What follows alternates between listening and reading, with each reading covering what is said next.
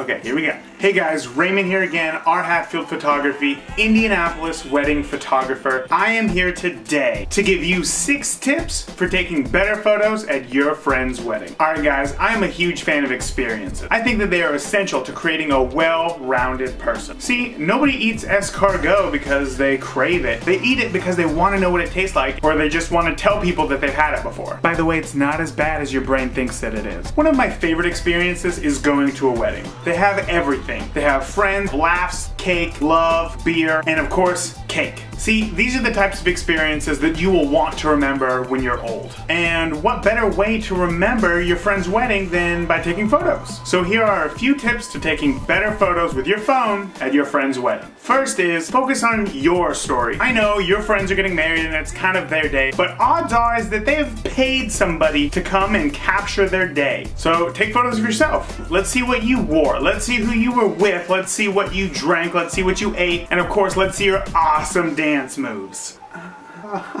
Number two, Number two, let us know where you are. Take photos of the church. Take photos of signs that the couple made. Take photos uh, when you arrive to the reception. Take photos of people going into the reception. Take photos of the empty tables. Take photos of the empty chairs. And then at the end of the night, take one last photo outside of the reception. These photos are the glue that's gonna help you tell a story better to your friends when you show them all these cool pics. Okay, number three. Number three, shoot the details. Have you ever heard that beauty is in the details? Well, it's true. The couple have spent the last year or more planning this wedding. They've been painstakingly deciding between mint or spearmint tablecloths, uh, rose or salmon ties for the groomsmen, and I'm not even gonna get into how many different options there are for table centerpieces. There's like a million, maybe two million maybe maybe three. Point is, the couple spent a lot of time deciding these details because it represents who they are. So, so take photos of those things. All right, number four. Four. Oh, get closer. Get closer? Yeah, see, your phone takes great photos, right? Yeah? Well, you know where it sucks at taking photos? Zoom, or lack thereof. There's no good zoom for a cell phone camera. And that pinching to zoom in, no, that's garbage. It just it just lowers the resolution of your photos and nobody wants that. No one's gonna think that you're a weirdo taking photos at a wedding. So just get closer. When you get closer to something, it becomes more compelling to look at. So you really have no excuse not to get any closer to whatever you're taking a photo of. Except maybe the kiss. Don't, just stay in your seat. Or just watch the kiss. You don't even have to take a picture of it. That's where the professional comes in. Anyway, just get closer in general. Number five, I just took a picture in the mirror. Okay, number five is turn your phone sideways. I get it. It's easy to take photos the way that you've kind of been trained to hold your phone. Oh, ah, I'm booked that day. I'm sorry, Vanessa, I'm booked.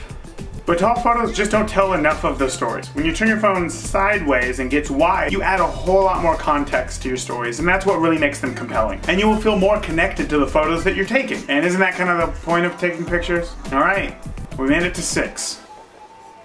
Six is share your photos, just not all of them. You're more than likely gonna take somewhere north of, I don't know, 10,000 photos at your friend's wedding, right? Awesome. And now it's time to share them. But please, please, please don't share them all. If you're uploading the photos to Facebook, please keep it to like 10, 15, 20 absolute max. Nothing is more boring than looking at a dozen photos of that pulled pork sandwich that you had at the wedding, no matter how delicious it is. And uh, it sounds really delicious, seriously. One photo's enough. Maybe two. Yeah, okay, two. Two isn't enough. Just post your absolute favorite photos. And I promise you it'll make everybody jealous. It's kind of like that saying, you can have too much of a good thing. And wedding photos pertains to this perfectly, especially from guests. No offense. Better yet, use Animoto for a slideshow. Seriously, they have a free app for your phone. You have no excuse not to do it. And people are way more likely to look at your photos if there's some awesome music behind it. if I had to sum up all of this into just one tip to taking better photos at your friend's wedding, it would be this. Don't. No, seriously, just don't take photos. And I know that that's weird coming from a wedding photographer, but just hear me out. The couple invited you to their wedding because they wanted you to be part of the happiest day of their life, right? So you kind of owe it to them to be there and be present in the moment. So create memories, drink beer, eat cake. Apparently you're a pretty cool person, otherwise the couple probably wouldn't have invited you in the first place. So spend your time enjoying watching your friends getting married. Seriously, it's not every day that you go to weddings, and it's not every day that somebody promises their life to somebody else and vice versa. Versa. Watch it, take it in, like really enjoy it. Seriously, seriously, it's really awesome. There's something about actually looking at it. Because honestly, next week you're never gonna look at those photos on your phone again. And all that you're gonna remember is watching the wedding from your three and a half inch screen. Nobody wants to do that. Seriously, just don't take photos. Somebody's paid to be there just to take photos so that you could look at them later. So right now, go kill that pulled pork sandwich. It's delicious. I promise. Okay, maybe maybe take just one photo of that too and send them to me.